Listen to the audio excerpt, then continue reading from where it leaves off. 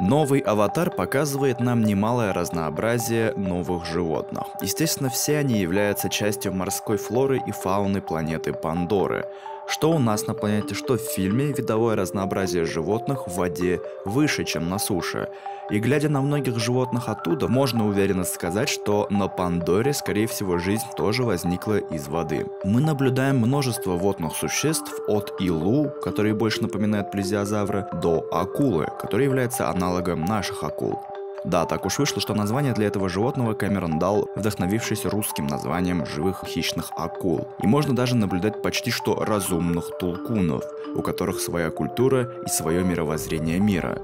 Но мы тут не за тем, чтобы разбирать моральные или этические проблемы этих животных. Мы тут за тем, чтобы разобрать их биологию, ведь они действительно очень интересные существа с точки зрения анатомии, физиологии и морфологии.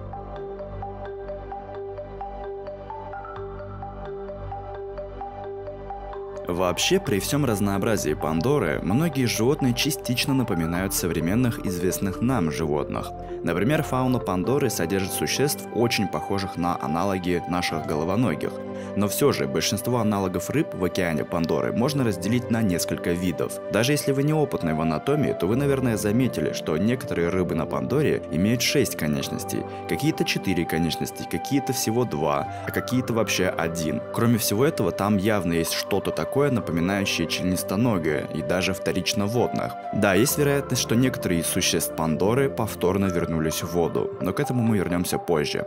Вы, наверное, заметили, что большинство сухопутных животных на Пандоре имеют шесть конечностей, и в иностранных источниках их называют гексаподами. Гекса значит шесть. И на самом деле тут видна явная связь между шестью конечностью на суше и в воде. Ведь даже если вы приглядитесь, то самые обычные рыбки во втором аватаре имеют шесть плавников – Естественно, легко предположить, что у условного тонатора эти шесть конечностей когда-то давно были шестью плавниками. Тут, конечно же, видна параллель с нашим миром и нашим эволюционным следом, который мы оставляем. Ибо наши с вами четыре конечности когда-то были четырьмя плавниками, как нам говорят палеонтологические данные. И, наверное, одним из самых интересных существ является скимвинг. Если вы смотрели фильм, то вы, наверное, видели этих крылатых аналогов рыб. В некоторых книгах по аватару говорится, что скимвинги обладают как жабрами, так и легкими, что дает им преимущество быть как в воде, так и над водой.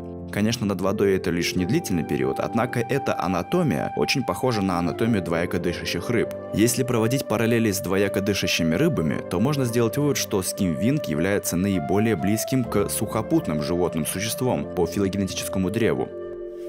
Я из личного опыта знаю, что меня смотрит немало тех, кто изучает финансовые рынки. И если вам нужен надежный и независимый брокер, то отличным выбором станет международный онлайн-брокер, который уже 15 лет работает на финансовом рынке AMarkets. В нем более 500 торговых инструментов, куда входят и криптовалюта, а также есть бонусы на депозит, мгновенное пополнение счета и нет никаких скрытых комиссий. Переживать не о чем, так как AMarkets является членом организации The Financial Commission, которая занимается урегулированием споров финансового рынка и обеспечивает защиту каждого из их клиентов. А Markets предоставляет, пожалуй, лучшие условия по ключевым критериям, к важным для трейдеров.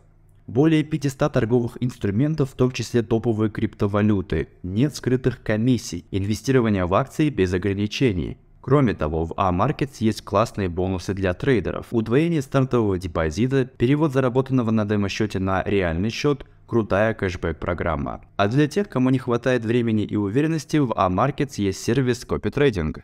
Это когда ты зарабатываешь, следуя стратегиям уже опытных трейдеров. Да и торговать можно прямо в мобильном приложении. Качество исполнения сделок A-Markets подтверждено VMT и соответствует лучшим критериям исполнения. Поэтому переходите по ссылке в описании и спокойно торгуйте. В книге по Аватару сказано, что скимвинги имеют общего эволюционного предка с банши. Таким образом, нави, живущие у океанов, используют это животное для охоты на более крупную добычу, как другие нави используют банши. Хотя эти рыбы и умеют летать над водой благодаря мощному хвосту, однако скимвинги обычно используют свой хвост в основном в воде.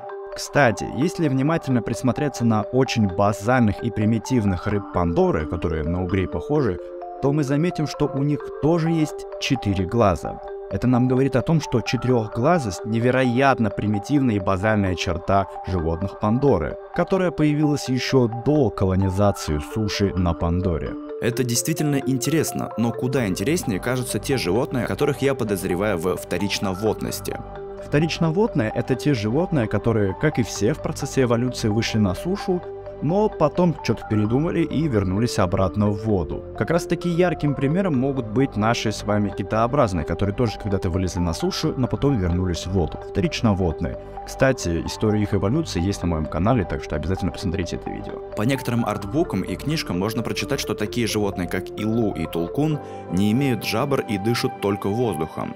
Илу — это то самое плезиозавроподобное существо, на которых катались на Ви. У Илу есть также четыре глаза и два длинных нервных отростка, отходящих от висков. Их общая окраска — это темный верх тела и нижняя белая часть живота, как и у многих наших акул. Это отличный камуфляжный окрас, помогающий им лучше охотиться на некрупную рыбешку. Они довольно-таки умны и очень общительны между собой и с другими видами.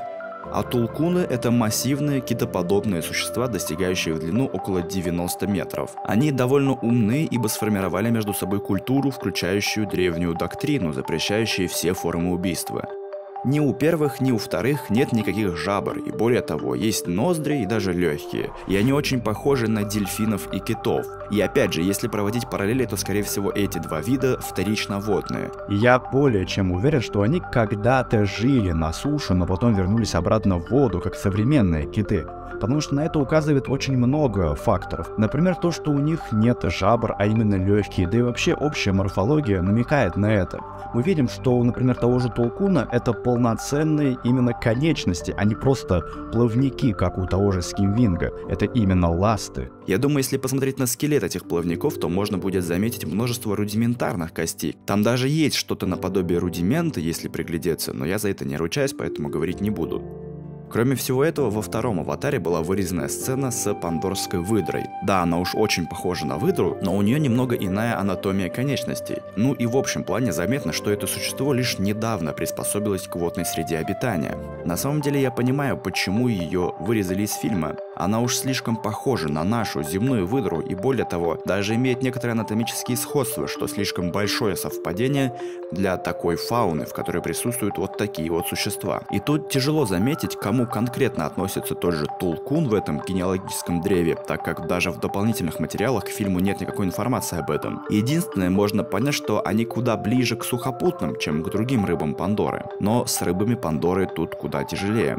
Некоторые предполагают, что рыбы с тремя плавниками плавниками произошли от рыб с двумя плавниками, а те в свою очередь от рыбы с одним плавником. Но вполне может быть то, что те рыбы, которые имеют только четыре конечности, а не шесть, или те рыбы, которые имеют только две конечности, не такие базальные, как я думаю. Может, они просто их потеряли в процессе эволюции. Например, как змеи потеряли конечности в свое время. Если приглядеться, то можно заметить, что водные существа имеют иное строение челюстей. Те же тулкуны или акулы имеют челюсти, которые разделены на три части.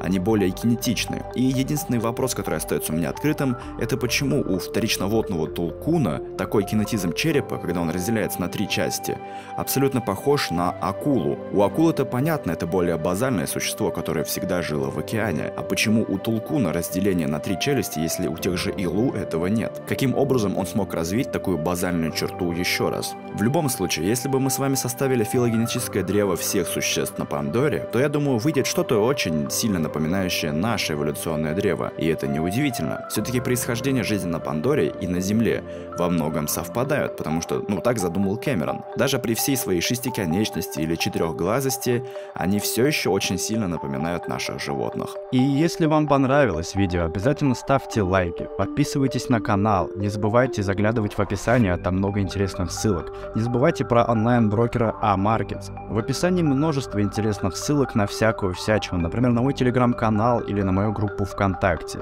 Поэтому заходите, смотрите, там очень весело общаемся с подписчиками. И, конечно же, помните, думать полезно.